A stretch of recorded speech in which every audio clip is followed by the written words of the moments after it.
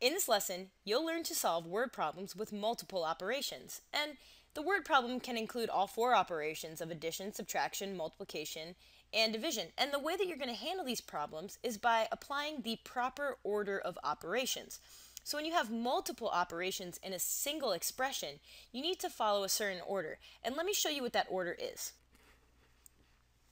So the order that you want to solve in is first, you solve anything that's in parentheses, Next, you simplify any exponents that you have or evaluate any exponents.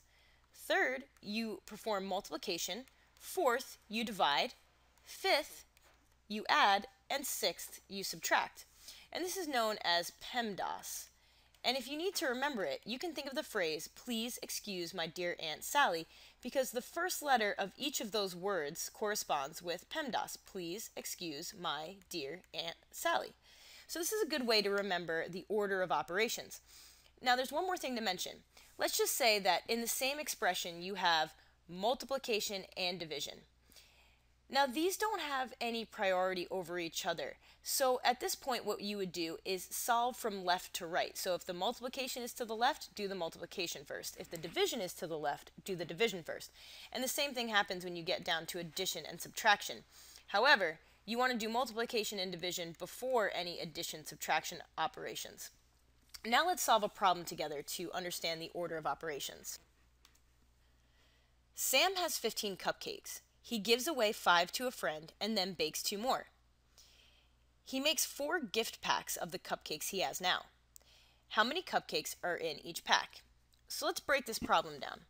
We want to first know how many cupcakes Sam ends up with to make gift packs with. So he starts with 15.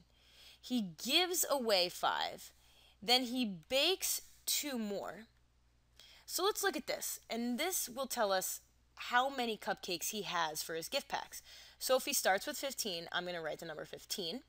He gives away 5, and we're going to represent that with subtraction. So he gives out 5, and then he bakes 2 more, which means he adds 2 to the number that he had.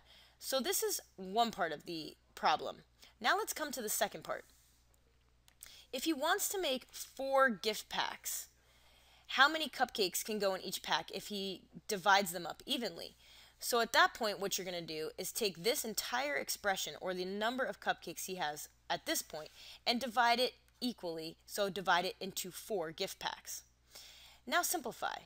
The top you have 15 minus 5, which is 10, plus 2. And we're doing this first, right, because parentheses comes first, and that's what we're looking at. We're looking at the parentheses.